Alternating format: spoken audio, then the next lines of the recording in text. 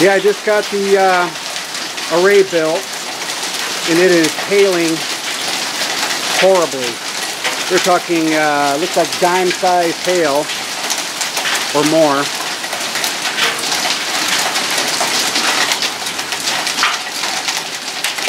Look at that. Hitting my panels, of course.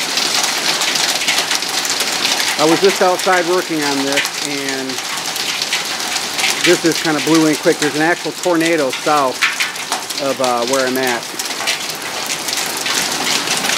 Insane. Insane. Wow.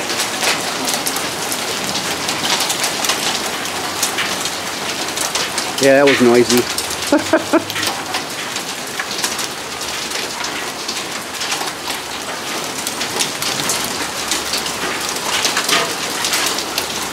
big chunks.